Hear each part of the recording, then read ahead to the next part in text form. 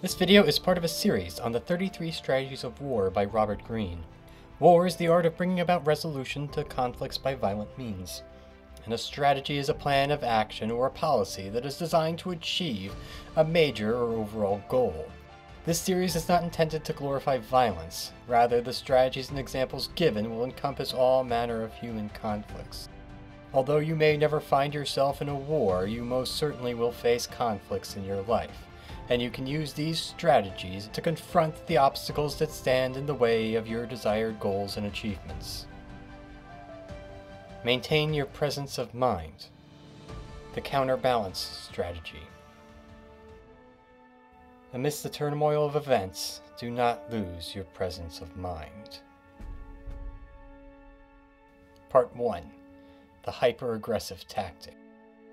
In the heat of battle, the mind tends to lose its balance. Too many things confront you at the same time unexpected setbacks, doubts, and criticisms from your allies. There is a danger of responding emotionally with fear, depression, or frustration. It is vital to keep a presence of mind. Robert Greene. The television series Band of Brothers, which is based on a book of the same name by Stephen Ambrose, follows the real battles of Easy Company of the 101st 506th Parachute Infantry Regiment from D-Day on through the end of the war.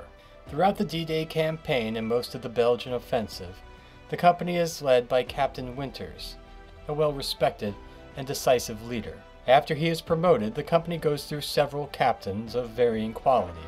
Captain Winters was a CO we could all respect. Moose Heyliger probably would have done a good job, but before we got a chance to find out, he was accidentally shot by a sentry.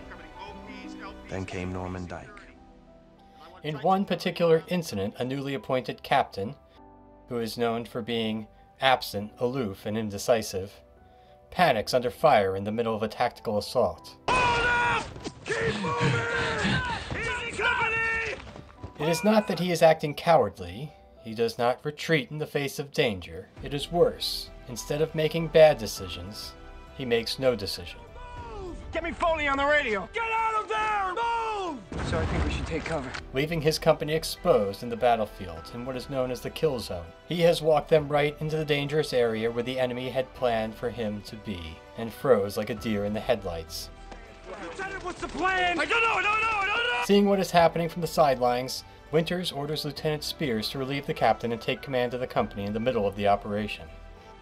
Speirs, get yourself over here! Get out there and relieve Dike and take that attack on in!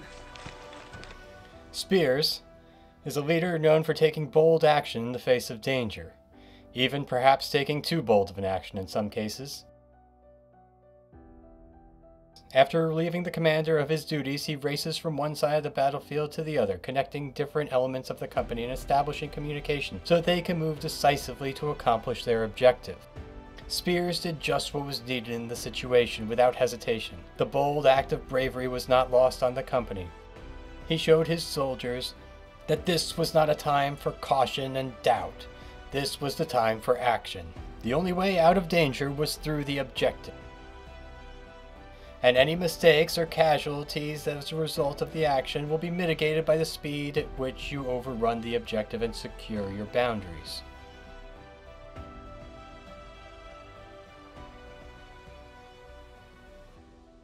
Part 2 The Detached Buddha Tactic.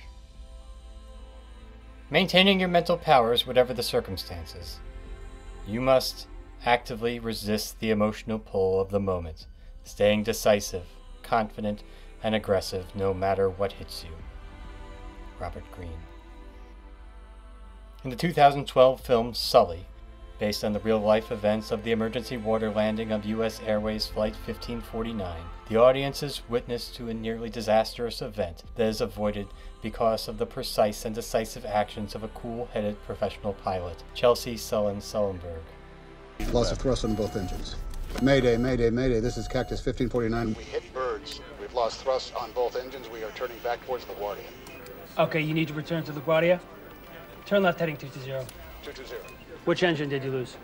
Both. Both engines. When confronted with complete engine failure and the limited ability to divert to an airfield, Sully does not hesitate.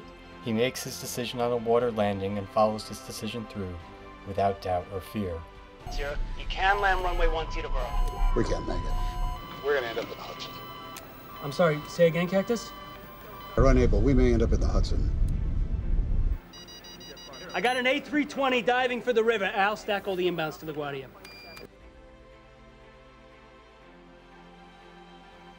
With a lifetime of preparation as a professional pilot, Sully was able to maintain his composure and make a split second decision and execute those subsequent decisions to save the lives of the passengers and crew of his flight.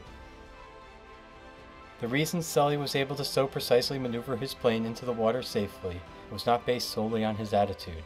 Pilots train relentlessly for emergencies they may face one day, and government agencies plan this training to ensure that pilots have the knowledge and skills needed should an emergency arise while they are in the air. You'll make mistakes. Everyone does. Just learn from them. Yes, sir. And never forget, no matter what's happening, fly the airplane. This meticulous planning offers a great advantage.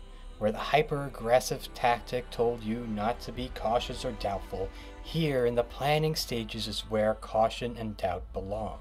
Never take anything for granted in the planning stage. Always assume a system will fail or something will break. It will not happen the easy way in planning. Always plan for the worst possible scenario. And once you figure it out, never be satisfied with simply completing the task. You must do it over and over again. Foxton, brother. Yeah, but it wasn't perfect. Used up too much fuel. Uh, you above the curve. Not by much. Listen, guys, I I want to work it again. Well, let's get it right. Okay, set it up again. There is probably no bolder mission in the history of the United States, perhaps the world, than the Moonshot, the daring expedition to land a human on the moon and return them safely to Earth. To accomplish this mission took all the innovation, daring, and planning that human society had mastered over the course of its thousands of years on this planet. Every detail of the mission was planned to a meticulous level, rehearsed, tested, and retested. At times, whole sections of this mission would need to be scrapped and started over. Everything needed to be planned to the most meticulous detail because there would be no rescue if the astronauts were stranded. There would be no way home if the ship fails, or if there was navigation errors. As Neil Armstrong himself put it, The damn thing could have killed you. No, it didn't. A split second more, and you No, would we not need be... to fail. We need to fail down here so we don't fail up there. This attention to detail in the planning stage pays off in dividends when it is time to execute.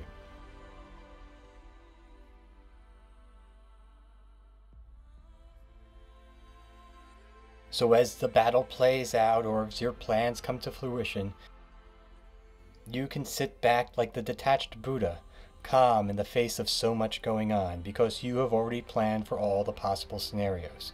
And even when something does go wrong, which it inevitably will, you know the procedures that you must do to complete the mission. Because you have already thought them through. You've told them to your team, you've practiced them, you've tested them, and you've retested them.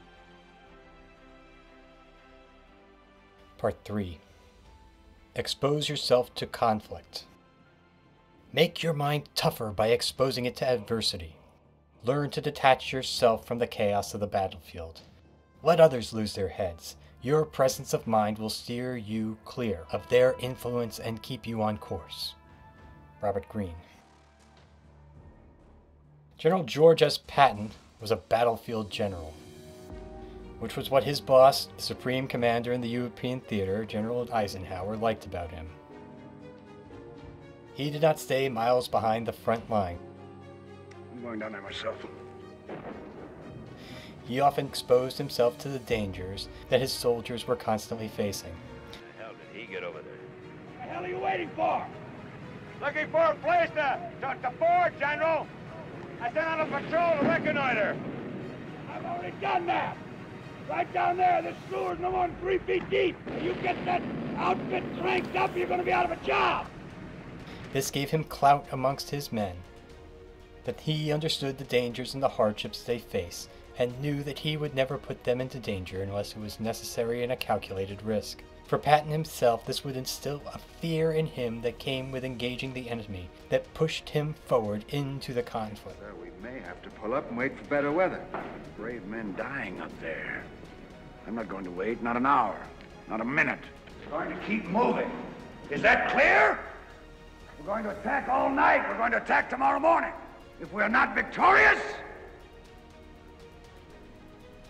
let no one come back alive. Another advantage that came with touring the front lines is developing a personal sense of the terrain and the circumstances on the ground. Too many top military commanders can become reliant on second or third hand observations to make decisions. Finished a couple hours ago. This morning, the fighting was hand to hand. By placing himself closest to the action, Patton was able to develop a sense for the ground he was fighting on, the spirit of the enemy combatants, and the morale of his own forces. Information can become distorted when it passes through too many ears and mouths, particularly in a rigid command structure where subordinates are more likely to only pass along favorable news to their superiors. Leaders need to know the truth, and the best way to know what is really going on is to observe it for yourself. In the 1987 film The Untouchables, set around real people and events of the Prohibition, Kevin Costner plays agitated Treasury agent Elliot Ness, who is frustrated by his department's inability to police the increasing criminal gang warfare that is being fueled by the black market for illegal alcohol. Question of whether or not it's a harmless drink, it may very well be, but it's against the law, gentlemen. And as we are going to enforce the law, we must do first by example. Elliot Ness is a bureaucrat by trade not familiar with policing strategies and the tactics of enforcement. In the film, he partners with a beat cop named Jim Malone. Mr. Ness, everybody knows where the booze is. The problem isn't finding it. The problem is who wants to the pond. This common police officer knows the streets and knows how the criminals operate. He also knows how crooked cops assist them.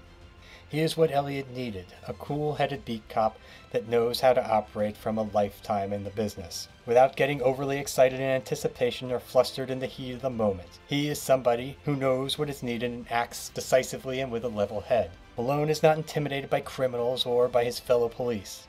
Together, Malone and Ness build a team that can be trusted. In a time when corruption in the force is rampant, having people you can rely on to do what is right and to keep your secrets is imperative to accomplishing a mission. Part 4 Keys to Warfare Expose yourself to conflict. Even Captain Speirs, as commander of Easy Company, was always willing to put himself in danger and challenge himself to put his training and his mettle to the test in actual combat. Mighty P Company takes a shot at the next gun! All yours! Let's go, Dog Company!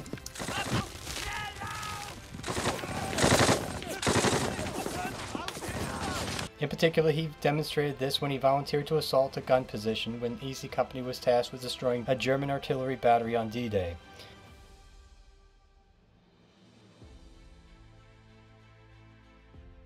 Become self-reliant. Need another man. You carry a badge? Yes? Carry a gun. Such as in The Untouchables, don't trust anybody outside of your group. The point of Elliot Ness's Untouchables was to create a group of like minded professionals that could be trusted. These were police of principle that believed in the just cause of the mission. They could not be bought off with bribes, promotions, or threats. They were in the game for the end result, not to benefit themselves personally. You're making a mistake. Yeah, uh-huh. well, I've made them before. I'm beginning to enjoy them. You fellas are untouchable. Is that the thing? No one can get to you? Yeah, you took Capone. Hey, everyone can be gotten. Then I'll see him in hell. Suffer fools greatly. Many people told General Eisenhower that Patton was a loose cannon. He was too aggressive at times. After an incident where Patton notoriously slapped a soldier, Eisenhower was forced to sideline his old friend. Don't admit this yellow bastard. Nothing wrong with him. We won't have sons of bitches. We're afraid to fight, stinking up this place of honor.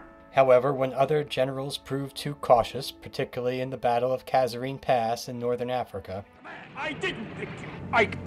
Eisenhower was able to reinstate Patton in command. George, you have performed brilliantly. You are loyal, dedicated. You're one of the best field commanders I've got, but you don't know when to shut up. George, you're a pain in the neck. Where he excelled in pushing the objective, closing the distance to the enemy, and ultimately leading the Allies to victory in Europe. Crowd out feelings of panic and focus on simple tasks. 220. 220. Which engine did you lose? Both, both engines. When the double bird strike knocked out the engines of Sully's airplane, the crew went right into their pre planned procedures. Ignition? Ignition. Thrust levers, confirm, idle. Idle. Airspeed, optimum relight 300 knots. We don't have that. No. That they had practiced and were familiar with. There was no time for emotional response, only to focus on the pre planned actions that each person had to perform. Unintimidate yourself.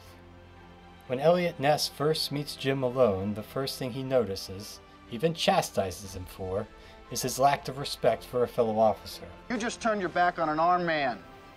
You're a treasury officer. Yeah, how do you know that? I just told you I was. Who would claim to be that who was not? Hmm? Malone shows no intimidation when he is confronted by authority or peers. Develop your fingertip feel. Go in the manual. The NASA astronauts of the Apollo missions were trained to the point of near perfection. Because the potential for a mission failure was so great, each astronaut had to know how to accomplish their task with the ease of a Grand Master. Tranquility Base here. The Eagle has landed. The reversal. You may at times panic. It's unfortunate, but it is natural. And when that happens, you must reflect on your actions. Play back the tape in your head and think about what you could have done differently, as if you were a coach of a football team rewatching old game tape. It's not unimaginable to lose your composure once, but it is completely unforgivable to lose it twice. This has been a production of Minimum Effort Media. There are new video essays here on the first Friday of every month. If you would like to own a copy of the 33 Strategies of War, you can do so by using the Amazon link in the description below. I am also giving away a copy of the book with each video on the 33 Strategies of War I release between now and December of 2022. All you have to do to enter is be a subscriber with notifications turned on, like the video, and leave a comment below. I will pick the comments at random from each one of my videos, and I will post the winners on the first Friday of December. You can reach out to me at The Lazy Stoic across all social media. Thank you for watching.